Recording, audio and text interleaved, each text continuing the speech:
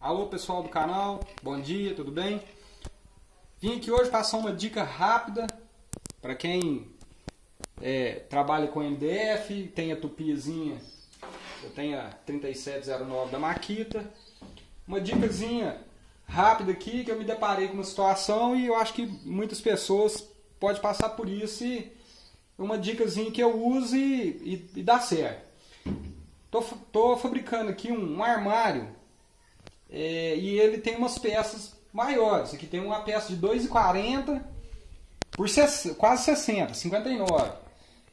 E para eu colocar essa peça sozinho na, na esquadrejadeira e, e para refilar e para fazer o, o, trabalho fica um pouco complicado, certo?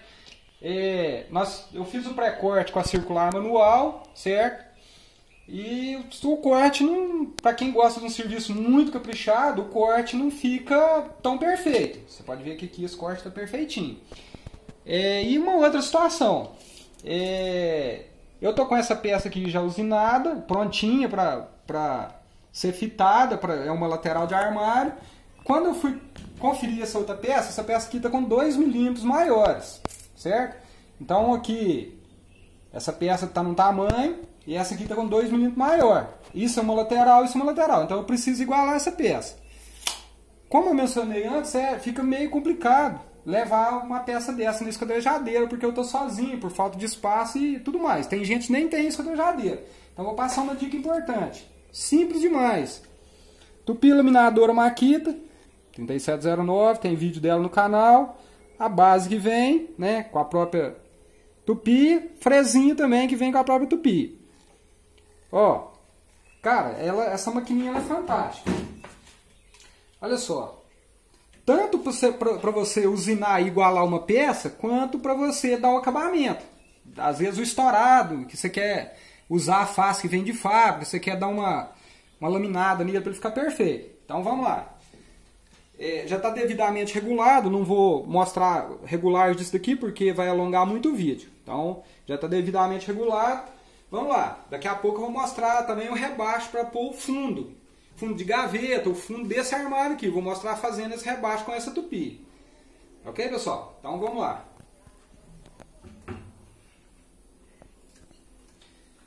Tem que ter atenção, pessoal, com essa fresa na entrada da peça. Na entrada e na saída. Você tem que pôr a mão aqui e ter a mão muito boa para você entrar, para ficar perfeito. Certo? Então vamos lá.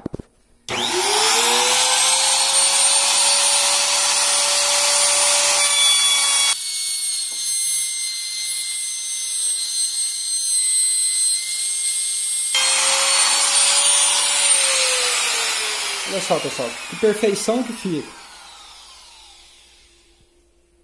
Cara, fica assim, ótimo. Só vim com a fita e 100%. Vou passar mais uma vez, tô tirando um milímetro mais ou menos de merda por via.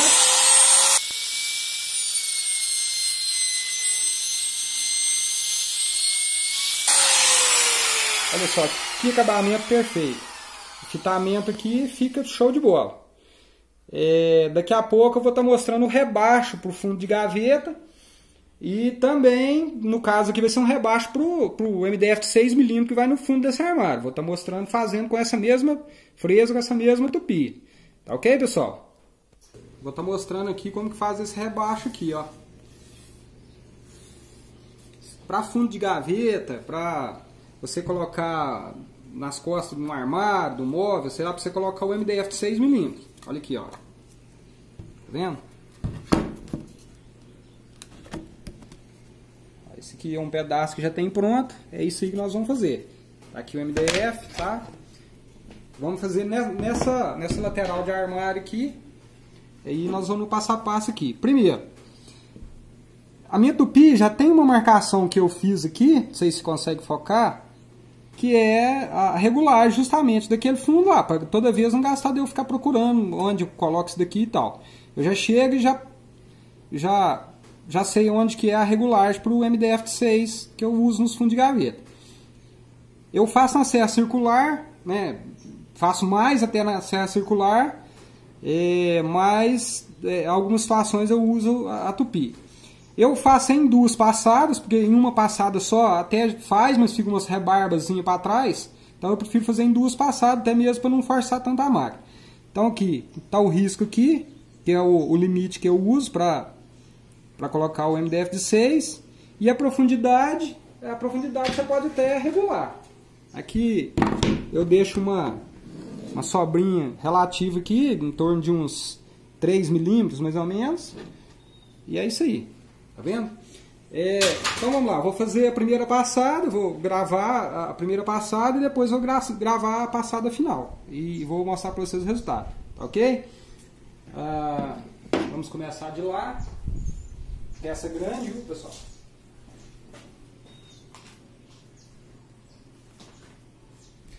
Como eu, como eu comentei, é, como essa fresa aqui tem que ter um cuidado na hora de entrar com ela no MDF. Você tem que firmar aqui porque senão ela entra comendo desigual.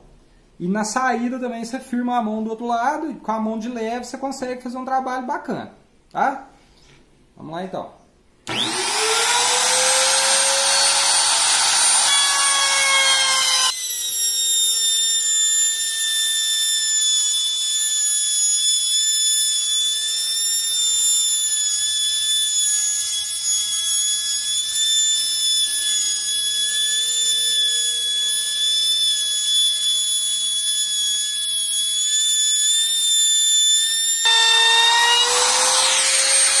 Mostrei antes, eu já fiz a primeira passada, agora a segunda passada. Simplesmente pego é, é, a guia e trago até essa marcação que eu tenho aqui já, já pronta, de regulagem.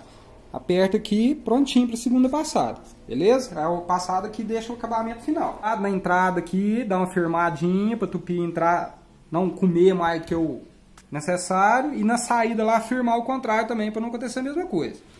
Vamos lá para a passada final aqui.